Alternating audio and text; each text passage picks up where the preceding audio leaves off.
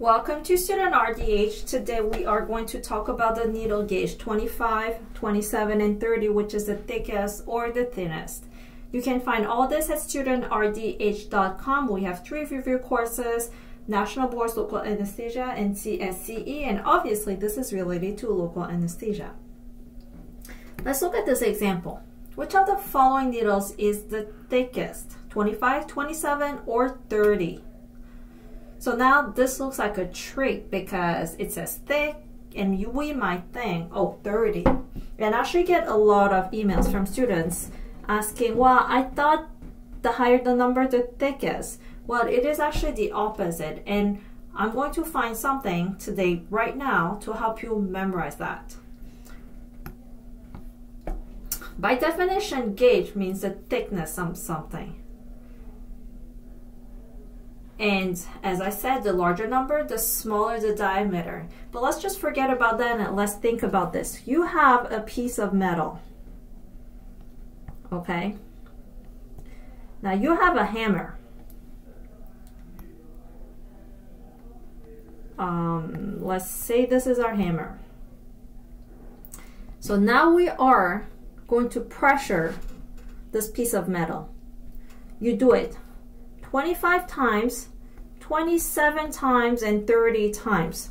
Which one would give you the thinnest metal? Obviously, the more we pressure it, the thinner it is going to be. So in our case here, 30 will give us the thinner diameter. I hope this makes sense. I'm not trying to play with the definition, but just something that you can remember quick so you can pass your examination and actually use it in your clinic every day. Now let's look at this example. Which of the following needles has the least amount of deflection? Deflection means how it would bend because sometimes if the needle is too thin, it bends into the tissue as we put it in. Obviously, the least amount of deflection would be with the thicker needle. So this actually is about which one is the thickest needle. Now you have to remember again, you have this piece of metal, you pressure it 25 times, 27 times, 30 times.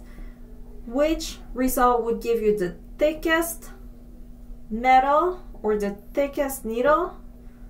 I think you understand that the answer would be 25 the least pressure you give it when you manufacture it, the bigger the diameter. And here is our answer. Now this is very important because we want good aspiration. The blood flows in and we understand whether we are in an artery or not because if we are, we should not stay there and we should remove the needle, retract it, and reposition it. And the thicker the diameter, the better aspiration we are going to get. And because it is thicker, it is going to be stronger, therefore it's going to have the least amount of deflection. I hope this all makes sense. Feel free to email me at clairej at studentrdh.com. I am the founder of Student RDH and I hope to help everybody out there to be successful in their examinations. Thank you.